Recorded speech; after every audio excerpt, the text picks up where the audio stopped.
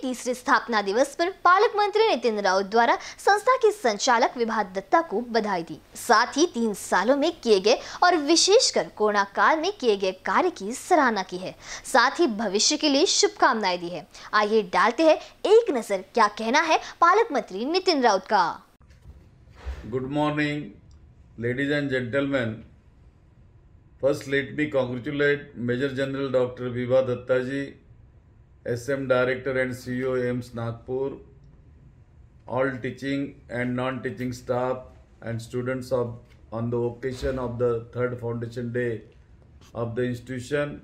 I had the opportunity to be present on the second foundation day and since then I have seen a lot of progress in the infrastructure, patient care, indoor, outdoor facilities and academics.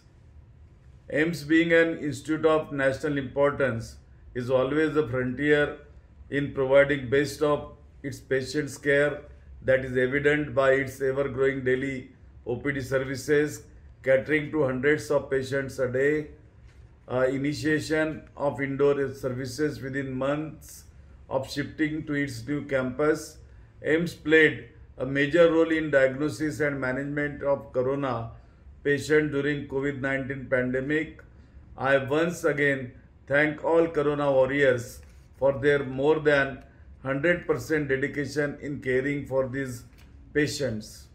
The true testament to AIIMS success depends upon the people that are engaged with the institute both as a part of it and for its primary stakeholders that is patients and students the sapling of AIIMS Nagpur will grow into a giant tree because of the efforts of teachers and commanding staff as they are here to nurture it with their passion, dedication, determination and knowledge.